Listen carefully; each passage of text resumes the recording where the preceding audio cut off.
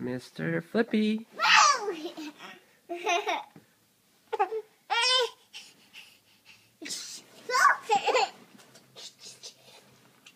oh, um, I think our train is a bit shaky.